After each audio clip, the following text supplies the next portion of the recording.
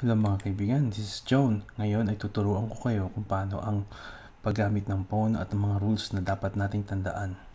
Okay, so ngayon mapapansin nyo sa unang position ng chess ay makikita natin ang pawn ay nakahilera sa second rank.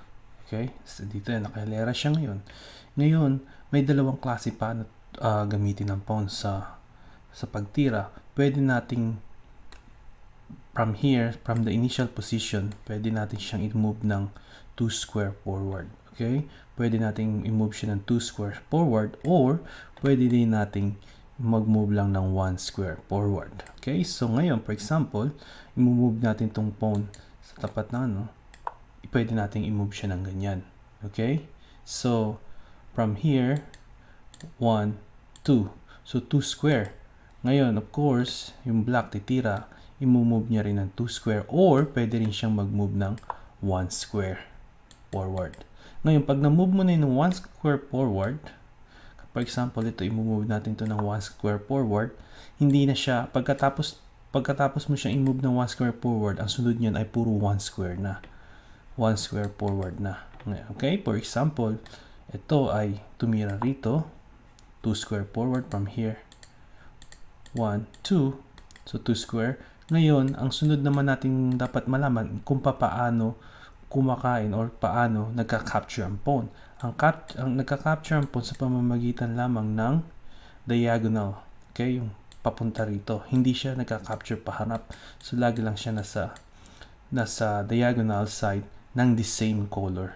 For example, itinira ng tinira ng itim yung pawn here. Right now,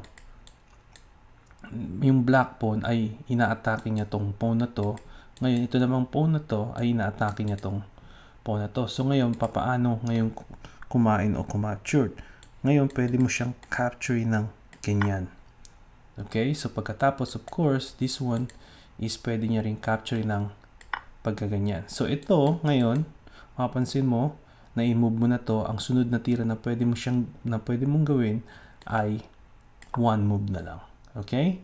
So now, ang king, mapapansin natin, ang king hindi siya pwedeng uh, tumira ng tumira ng dalawa agad. So isa lang siya, puro isa lang. Isa lang ang tira niya no matter what. So for example, pwede mo siyang ilagay rito. Then titira ako ng po ng dalawang beses. Pwede 'yan. Tumira rin siya ng pangalawang beses. Isang beses lang pwedeng tumira forward. Pwede rin pa backward tumira ang uh, pwede ring itira mo ang king ng backward. But ang pawn, hindi mo siya pwedeng itira ng backward. Pag na-push mo na ang pawn, pag initulak mo na, hindi mo na pwedeng hindi mo na pwedeng ibalik. Okay? For example, ay mo uh, tinira ko ang pawn dito sa square na to at tumira ko rito. Pwede ko siyang kainin. Pwede siya pwede ko siyang i-capture. Okay? For example, here here sinuportahan ko lang So, pag kinain ko to, pwedeng kainin ng itim at pwede ko rin kainin. So, ganun lang yun. Is one step lang. Pagkatapos niyan, one step lang. Okay? Pwede kang bumalik. Pwede kang bumalik. Yung king pwedeng bumalik, pero yung pawn hindi pwedeng bumalik. Okay? For example, here. Okay? So, here. Punta ko rito. Pwede niyang kainin yan. Okay? So ngayon, pwede ko itong i-push to rito. For example, pumunta ako rito. Pumunta ako rito. Dito. Pwede kong capturein ngayon yan. Ito. Ang king pwedeng kumapture. Okay? Pwede niya ka capturein yung pawn. Dahil yung pawn na yun ay walang suporta. Okay? Pwede niya itong capturein. Pagpunta mo rito, uh, punta siya rito. Ang pawn kasi uh, nanggagaling sa second rank. Kapag ang pawn na-reach niya tong 8 ranks, pwede siyang mag-promote. Ang tawag doon ay pawn promotion. Pag nag-promote ka, pwede mo i-promote.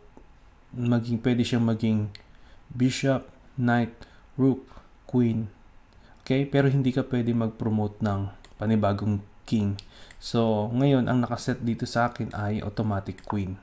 Ay, ay okay. Pwede ka mamili. Like this one, queen, knight, rook, and bishop. So, most of the time, ay queen ang pinipili natin dahil nga sa chess, mas mataas ang value ng, ng queen at mas malakas ang queen. So, ngayon, for example, after the uh, white move, pwedeng tumira rito ang king because ang plano niya ay kainin or capturing tong pawn here. So, for example, I move this one, you can move this one too. Then, here, then pwede mo ipunta yan dito. Then, pwede siya rito, pwede ka rito. Ito pwede mo rin i-push pero hindi tandaan natin hindi tayo pwedeng tumirang pa pabalik sa pawn. So, here we go. Katulad ng nagawa ginawa ng white ay nag-pawn promotion siya dahil nakarating na rin siya sa last rank. So, pwede natin ma-promote rook like that one. See? Move here. Here, check. And here. Then, move here. For example, ngayon, itong, itong pawn na to, hindi natin to pwedeng capturein. Bakit ka mo? Kasi yung queen ay sinusuportahan niya to. So that's an illegal move for the king. So pwede tayong tumira rito. Here. Here. Ngayon, see? Uh, another pawn promotion. So pwede mong gawing queen uli. So ngayon makikita mo dalawa na ang queen ko. So as long ha, meron ka pang available na pawn, pwede mo siyang i-promote. Okay?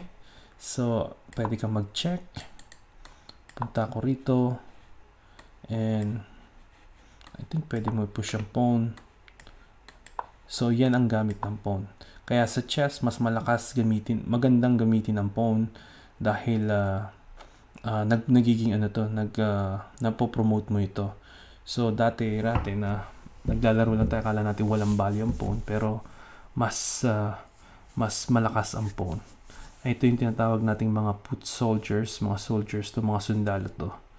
Okay, na pwedeng maging general or general. So, so that's it for now. Hopefully, naintindihan nyo or na gustuhan nyo tong very basic tutorial about pawn. Paano tumitira ang pawn, paano ko ma-capture, paano yung mga pawn promotion, at marami pang iba. May tinatawag pa tayong unpassant sa mga advanced, advanced na yon So, ngayon, natutunan nyo ngayon ang pagtira ng pawn katulad ng ganyan tumira ang pawn here. Ngayon pwede niya tong kainin. Pwede niya tong capturing kasi ang pawn ay kumakapture lang diagonally. Hindi pwede ito hindi yeah. Like that pwede niyang capturing yun. Alright? This is Joan and thank you for watching bye for now